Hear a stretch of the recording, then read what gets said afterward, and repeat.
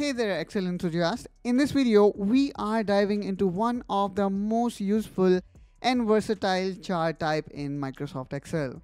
The scatter plot chart or sometimes also known as XY chart. Scatter chart I would say are the great way for showing correlation between two sets of data and are widely used in data analysis. And in this video, we will be covering the basics of scatter chart then moving into more advanced variation like scatter chart with smooth line, scatter chart with straight line, and by the end of this video, you will know exactly when and how to use each chart type to get best insight from your data. So without further ado, let's jump into it. Okay, so first up here you can see my computer screen and I already have created one such example where uh, you can see here um, if somebody study let's say for two hours um, we can see the tentative exam score that he can achieve. It's 60 then we can see as the number of study hours increase the probability of getting exam score for a particular student also increase.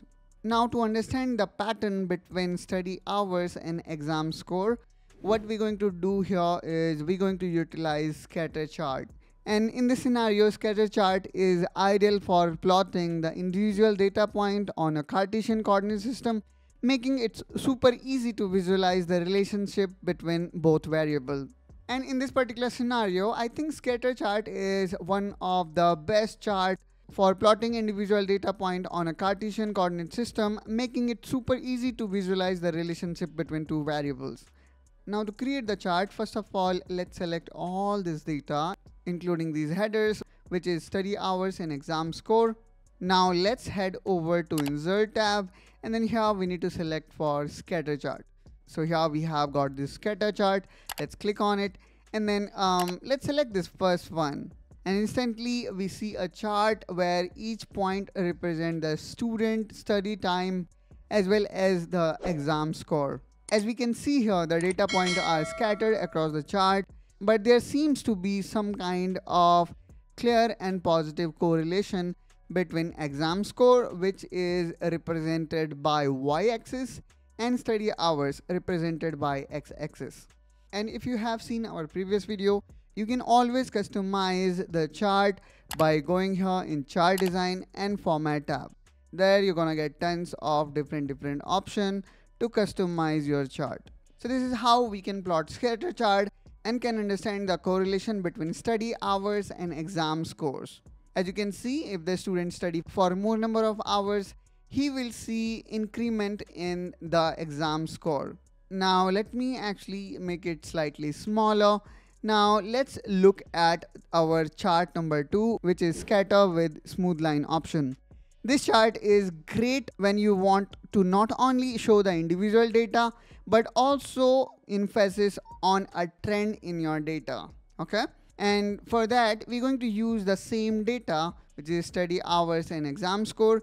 This time, instead of simply plotting the points, we are going to connect them with smooth lines to better show off the trends. So after selecting the data, we are here back again in insert tab and here in scatter plot.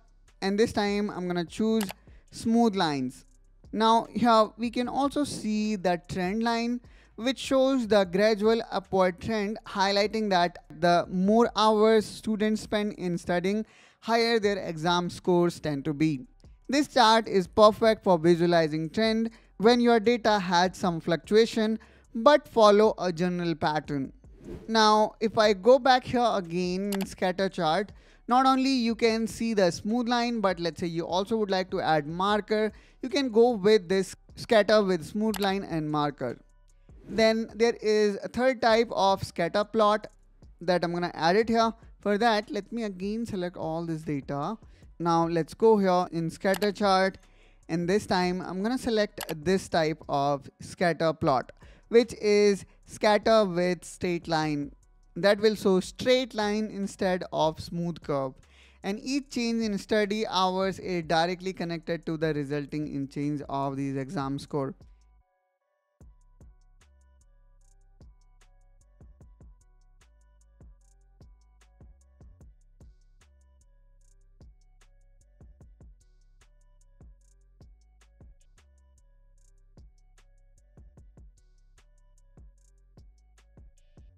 Now there is one more type of scatter plot which is bubble type. And in order to use bubble type of scatter plot, what we need to do is uh, we need to introduce third variable as it allow you to represent third variable by changing the size of bubble. For example, let's say we want to analyze the study hours, exam scores, and also the amount of time spent on additional tutoring. So in this case, the study hour will be plotted on x-axis, which is as usual, and then exam score is on y-axis, and the size of bubble will represent the tutoring hours. This gives a deeper look on the data by adding the third dimension of information.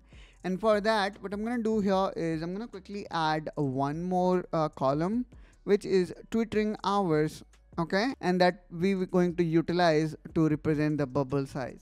So let's say uh, one hours of additional tutoring, then in this case, two hours, three hours, four hours, five, and six, okay? So um, these are the additional hours of uh, tutoring. Now what I'm gonna do here is I'm gonna select all three data. Okay. Now again, let's go here on the top and click on insert. Then again, we need to go to scatter chart.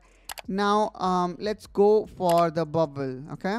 And now you see that each data point represented by a bubble the size of this bubble correspond to this third variable which is amount of additional tutoring hour one student have spent. So two aspect we are already covering using this trend line and the third aspect or the third variable is being covered by the size of bubble. The bubble chart is particularly powerful when you want to visualize the third variable at once. It is an excellent way to add depth to your data analysis, allowing you to understand not just the relationship between two variables, which is exam score versus study hours, but also how a third factor like tutoring in this case might influence the result. And that's all guys from my side in this video we have covered basic scatter chart, scatter chart with smooth lines plus with and without marker, scatter chart with straight line again with and without marker and the powerful bubble chart. Each of these chart has its unique strength and depending on what you want to visualize. And I hope guys you find this video helpful and informational. If so then please make sure to like and subscribe to OfficeWiser for more such Excel tutorial and data visualization tips. Also, don't forget to leave a comment below if you have any questions or idea for future videos. Thanks for watching and I will see you in the next one. Till then, you take care and bye-bye.